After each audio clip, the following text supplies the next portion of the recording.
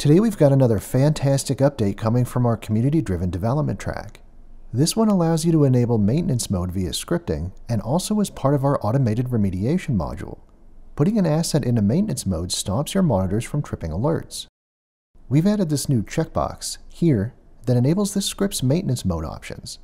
You can enable maintenance mode for a duration as low as 5 minutes or as high as 4 hours before maintenance mode will automatically shut itself off. You can also choose to have scripts disable maintenance mode if needed. You can even choose to dynamically enable or disable maintenance mode at the beginning and end of the script, so you don't need to try and guess how long any given script may be running. This ensures maintenance mode is only enabled for the precise duration of your script. Lastly, we've also added an option to trigger maintenance mode as an action in automated remediation. So that's our new update to maintenance mode, available starting today.